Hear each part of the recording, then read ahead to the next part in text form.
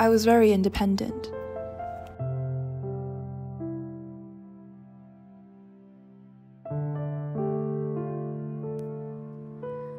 What I'm struggling with is that it feels like their amazing life comes at the expense of my own.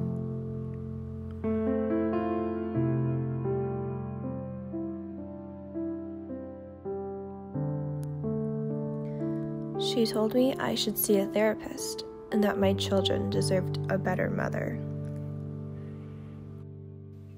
Nobody talks about how hard having children can be, how exhaustion can affect you, and how sometimes love has love has to be developed.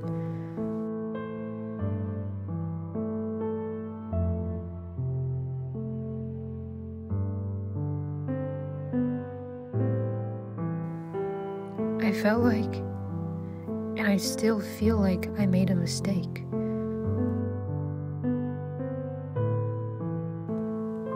I, I don't regret my children, but I regret the timing of my children. I would cut off my arm if they needed it. The more I feel, the more I gave them. Being a mother is not the most important aspect of her life.